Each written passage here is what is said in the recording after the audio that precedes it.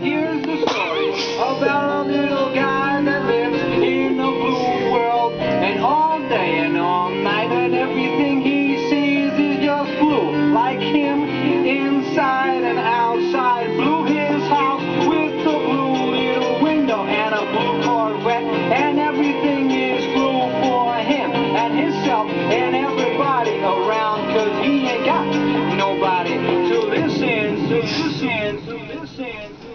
I'm